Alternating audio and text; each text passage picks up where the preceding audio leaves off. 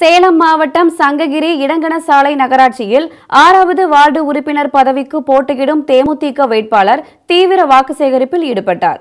சேலம் மாவட்டம் சங்ககிரி சட்டமன்ற தொகுதிக்குட்பட்ட இடங்கணசாலை நகராட்சியில் ஆறாவது வார்டு உறுப்பினர் பதவிக்கு சசிகுமார் தேமுதிக சார்பில் வேட்பாளராக போட்டியிடுகிறார். அவரை ஆதரித்து தேமுதிக சேலம் மேற்கு மாவட்ட செயலாளர் சுரேஷ் பாபு தலைமையில் இடங்கணசாலை நகராட்சி ஆறாவது வார்டுக்குட்பட்ட பகுதிகளில் தேமுதிகவினர் வீடு வீடாக சென்று வாக்கு சேகரித்தனர். அப்போது வாக்காளர்கள் காலில் விழுந்து வீதி வீதியாக சென்று முரசு சின்னத்திற்கு தேமுதிகவினர் தீவிர வாக்கு சேகரித்தனர். அப்போது தலைமை செயற்குழு உறுப்பினர் ரமேஷ் சேலம் மேற்கு மாவட்ட விவசாய அணி துணை செயலாளர் பாலசுந்தரம் இடங்கணசாலை நகர பொருளாளர் பெரியசாமி துணை செயலாளர் எம்ஜிஆர் மற்றும் நிர்வாகிகள் மல்லு முத்து உட்பட மகளிரணி நிர்வாகிகள் பலர் உடனிருந்தனர்.